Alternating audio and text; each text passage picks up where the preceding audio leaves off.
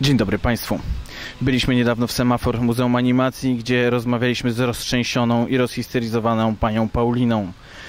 Najważniejsi bohaterowie Semafora poszli na wakacje i nie wiadomo, co się z nimi dzieje. Pani Paulina poprosiła nas o pomoc. Dlatego chodzimy po łodzi i szukamy naszych bohaterów. Dostaliśmy donos, że teraz widziano trzy misie w Centralnym Muzeum Włókiennictwa. Sprawdźmy to. Czy widział pan dzisiaj coś niezwykłego? Na przykład trzy misie? Tak, widziałem. Tam właśnie poszły.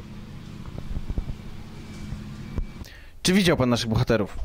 Tak, widziałem. Czy rozrabiały? Nie, nie rozrabiały. Zwiedzały. Zwiedzały, nawet kupiły bilety.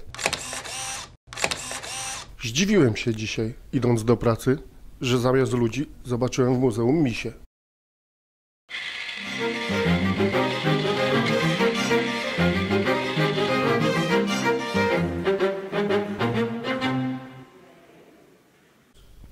Proszę pani, czy to prawda, że trzy misie krążyły po Muzeum Włókiennictwa?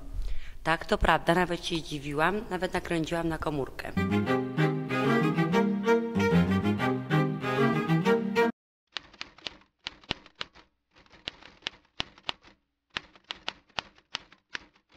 Niestety nie udało nam się spotkać trzech misi, ale mamy ich zdjęcia i relacje świadków. Wiemy, że są w Łodzi. Dlatego jeżeli ich spotkacie, zróbcie im zdjęcie i wyślijcie na nasz fanpage.